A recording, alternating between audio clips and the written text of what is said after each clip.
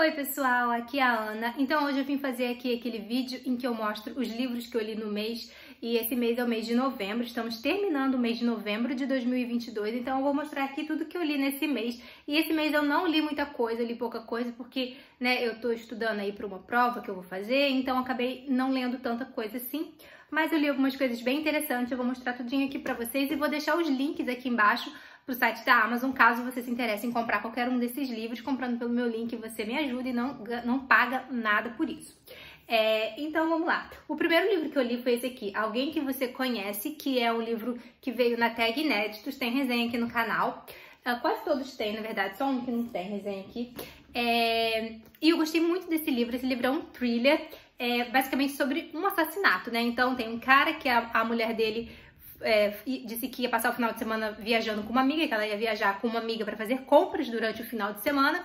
E ele, beleza. Só que daí chegou domingo à noite e a mulher não voltou para casa. E ele foi então ligar pra amiga e a amiga fala: Não, não, tava, não viajei com a tua esposa, não, nem sei onde ela tá, faz tempo que eu não falo com ela. Então ele vai na polícia, né?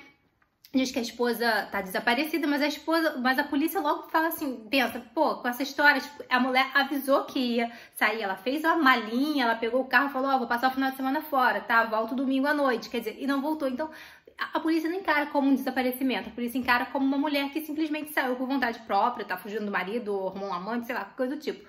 Então a polícia não bota fé. Só que duas semanas depois, o corpo dessa mulher é encontrado dentro do carro, dentro do porta-malas do carro. Essa mulher foi espancada e, e botaram ela dentro do carro e jogaram o carro dentro de um rio. E aí, a partir disso, a partir do momento que esse corpo é encontrado, então a polícia vai começar a investigar. E aí vai investigar todo mundo ali. É um livro bem legal. Vai investigar, todo, investigar todos os vizinhos ali, vai investigar o marido, né? Óbvio, e, e, os moradores ali. E aí a gente vai vendo tretas assim que acontece ali com, com todo mundo. E é muito legal. E tem também uma outra vizinha ali que tem um filho de 16 anos que estava invadindo casas ali para fuçar o computador porque ele quer ser hacker e tal.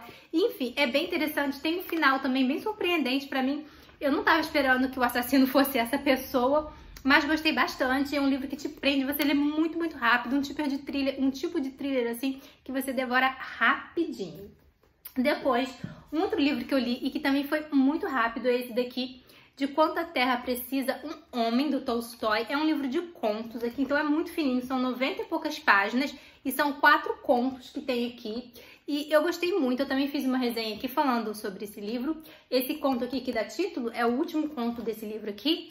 E, e, e, todos esses contos são bem interessantes. Ele vai falar muito sobre filo, filosofia, sobre religião. Tem alguns contos aqui com a pegada é, religiosa, filosófica, porque o Tolstói fala muito disso nos seus contos. E são contos assim para você refletir e tal. E eu fiz um vídeo para esse vídeo aqui, onde eu comentei cada conto. Então, se você se interessar aí, é, vou deixar o link aqui também desse vídeo, de todos os vídeos aqui que eu fiz, né? Porque é bem interessante e é muito fininho. E como eu falei, é bem fininho e tem quatro contos aqui. Então, assim, dá pra você ler um conto por dia ou ler todos de uma vez só, porque também é muito legal.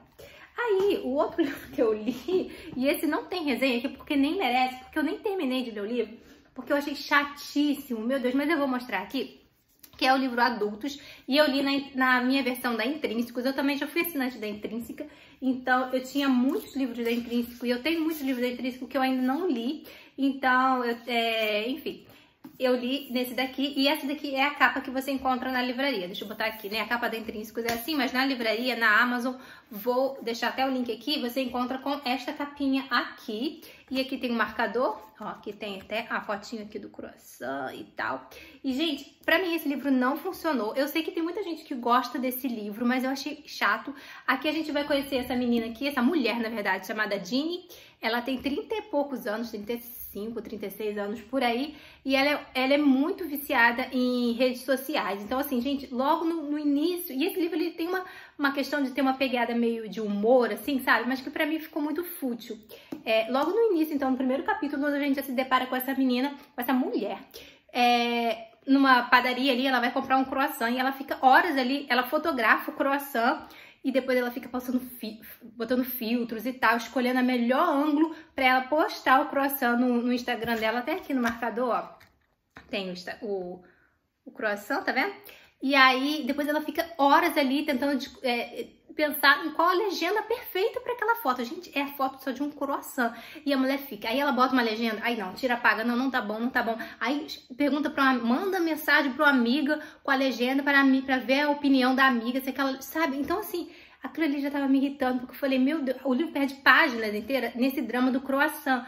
E eu assim, gente, é só uma foto de croissant, mas assim, é para mostrar o quanto que ela é viciada nisso, entendeu? Aí ela tá, acha a, a legenda perfeita para foto do croissant e manda. E assim que ela posta no, no Instagram, ela já fica ali toda hora olhando para ver quantas pessoas estão curtindo. E se tem poucas curtidas, ela meio que se deprime e, ah, sabe? Então, assim, ela vive daquilo dali. E detalhe, ela nem comeu o croissant, sabe? Ela nem comeu o croissant, era só para tirar foto. E a gente vai vendo que ela faz isso. Ela viaja para outros lugares só para poder tirar uma foto em tal lugar para poder postar no Instagram. E assim, ela mesma fala que antigamente ela viajava para lugares que ela queria conhecer. Hoje ela viaja para lugares em que vai dar uma foto bacana, entendeu? E mesmo que ela não quer, ela viaja só para tirar foto e vem embora. Tipo, ela nem aproveita o local, ela não aproveita nada. Então, ela é muito assim.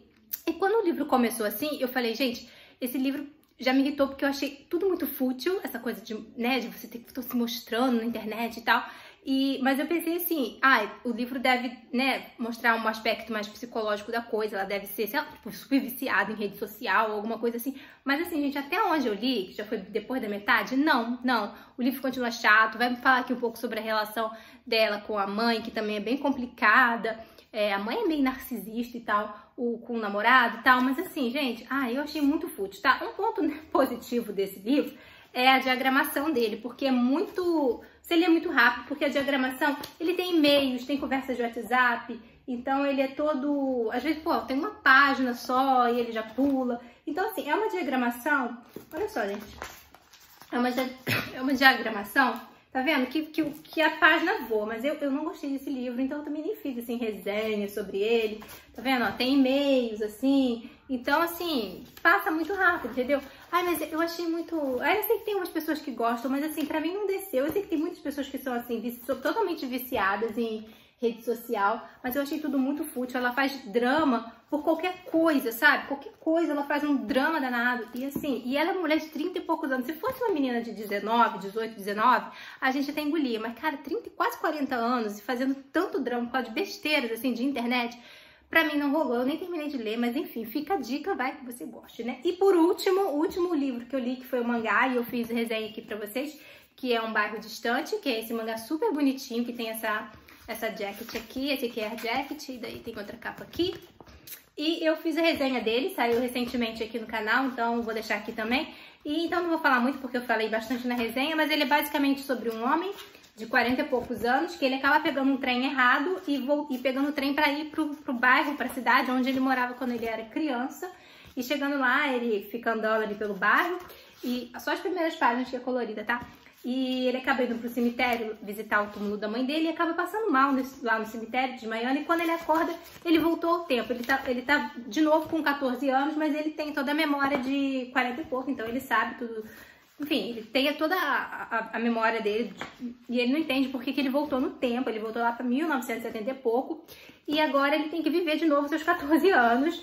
E um, o fato que marcou a vida dele aos 14 anos foi o desaparecimento do pai. O pai um dia saiu para trabalhar e nunca mais voltou. Então agora ele volta aos seus 14 anos, ele tem é, a chance de entender o que, que aconteceu, porque ele volta antes do sumiço do pai. Então ele vai, e como ele sabe, é, aqui no meio do livro também tem uma parte colorida, tá? Então, como ele sabe o dia que o pai vai sumir e tal, ele tenta entender, né, o que, que aconteceu com esse pai. E, enfim, é uma história muito legal. Também vou deixar o link aqui da resenha que eu fiz. Bom, então esses foram os livros que eu li nesse mês de novembro. Vou ficando por aqui, então. Deixa eu pegar aqui tudo. Beijos, então, e até a próxima.